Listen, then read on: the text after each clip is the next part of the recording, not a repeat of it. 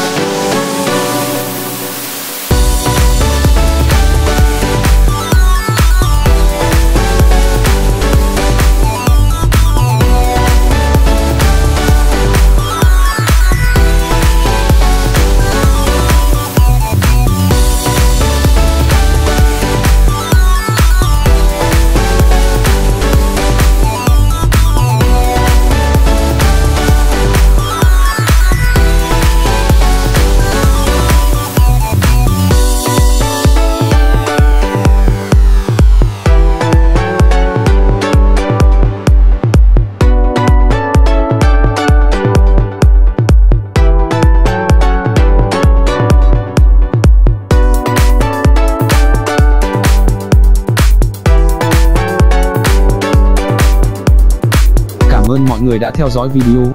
Các bạn đừng quên bấm đăng ký để nhận tiếp những thông tin của dự án này và các dự án khác trong các video tiếp theo.